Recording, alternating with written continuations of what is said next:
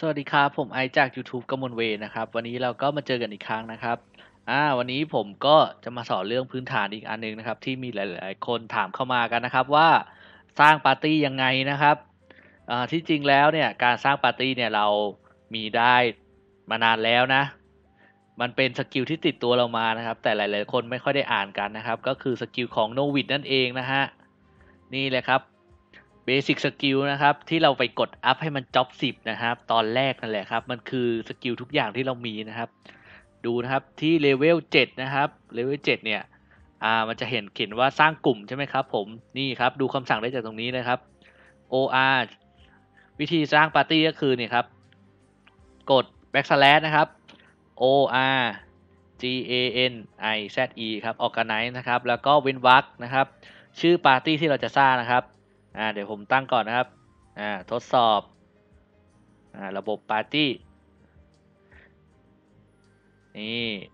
มันก็จะขึ้นมาให้เราตั้งค่านู่นนี่นั่นนะครับ ผมก็กดกดไปก่อนนะครับ ผมเดี๋ยวมันตั้งค่าที่หลังได้นะฮะนี่ครับโอเคครับอ่าหน้าต่างปาร์ตี้ใช่ไหมครับ หลาย ๆ คนก็ไม่รู้นะครับ ก็กดหน้าต่างปาร์ตี้จะเปิดขึ้นมาก็กดอันติเนตนะครับ กดอันติเนตค้างไว้แล้วกด Z นะครับ นี่ครับ มันก็จะ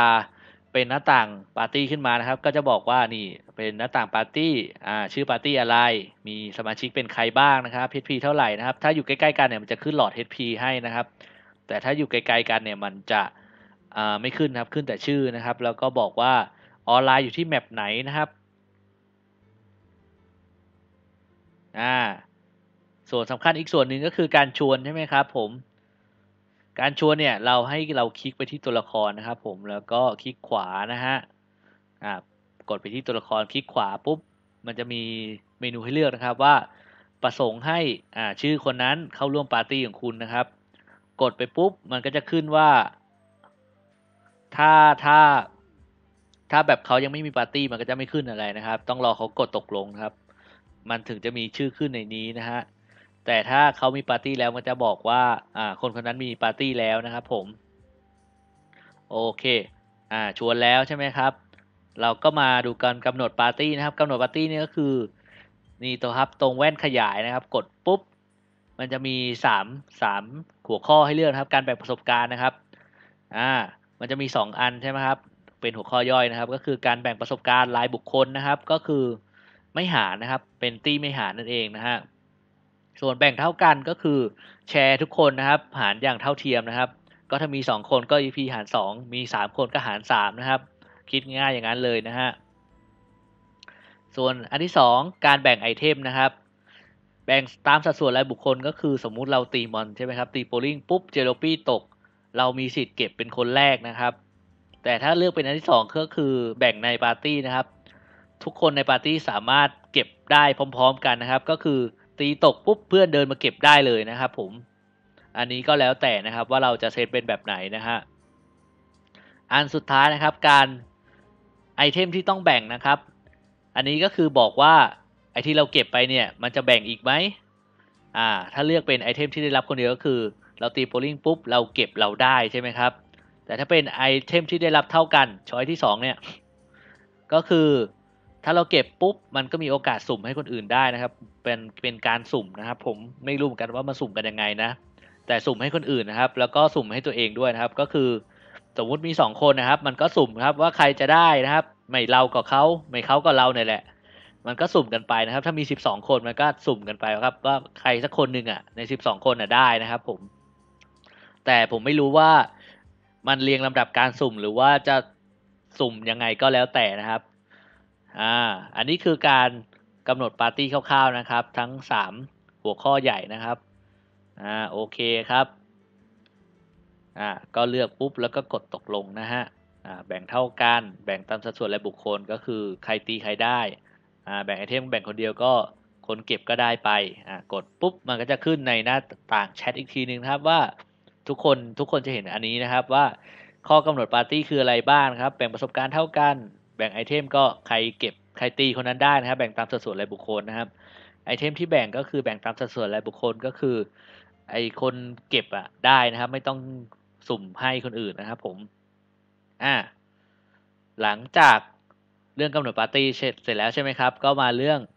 อาออกนะครับ ไล่ออกจากปาร์ตี้นะครับ เวลาไล่ออกเนี่ยถ้าเป็นหัวหน้าตี้เนี่ย หัวหน้าตี้มีสิทธิ์คนเดียวนะครับ ที่จะสามารถเชิญและไล่ออกได้นะฮะ อ่า เวลาหัวหน้าตี้จะไล่ใครออกเนี่ย ก็ไปกดที่ชื่อคนนั้นให้มันเป็นสีเข้มๆแบบนี้นะครับ แล้วกดไล่ออกจากปาร์ตี้นะครับผม แต่เราไล่ตัวเองไม่ได้นะ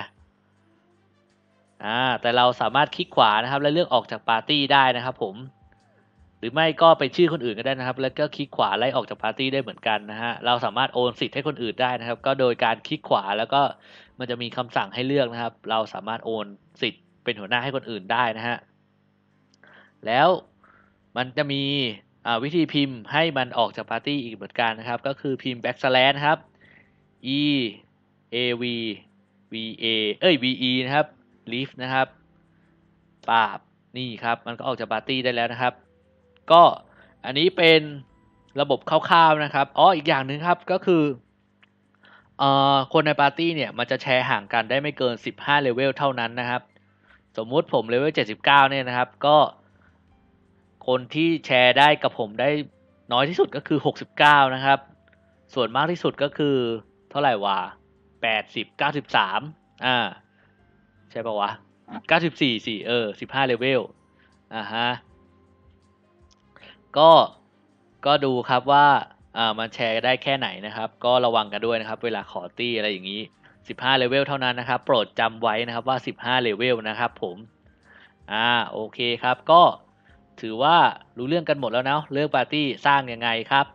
สร้างก็กดนะครับ backslash o r g n i z e นะครับผมแล้วก็เว้นวรรคชื่อกลุ่มนะครับ